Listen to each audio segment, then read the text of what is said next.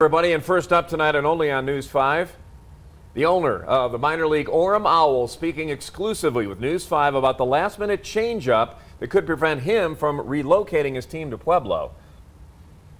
Good evening, and thanks for joining us here on News 5 at 6. I'm Rob Quirk. And I'm Elizabeth Watts. News 5's Andy Koen has the scoop on the Owlz. He's in our Pueblo studio with a closer look at how things went wrong so quickly, Andy.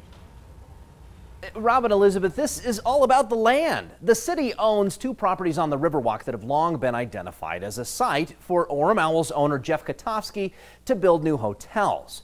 But rather than sell them directly to him for a fair market value, the city is thinking of taking bids, and Katofsky said that move would force him out of the deal.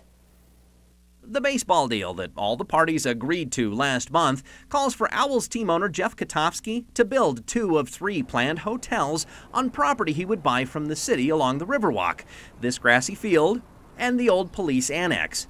But city manager Sam Azad told the HARP Authority in this letter last week that the charter requires a sealed bid process for selling city land.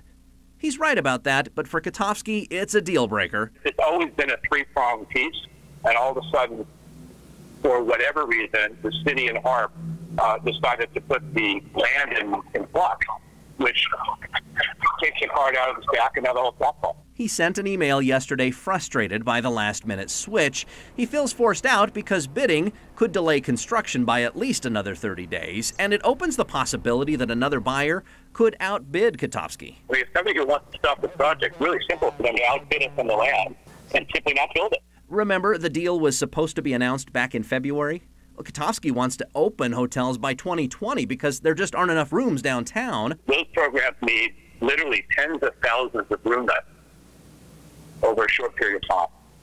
And you have 250 or 270 in the downtown. We can't even support the Owlz, let alone the youth program. Urban Renewal Director Jerry Pacheco put it bluntly in an interview with our Katie Blaze last night. To be brutally honest, the decision needs to be made very quickly.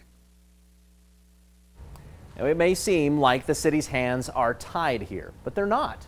Council can pass a resolution that lets the HARP Authority sell the land directly to Katofsky. In fact, they did that exact same thing a decade ago, back in 2007, for another developer who built the Angelo's Pizza building.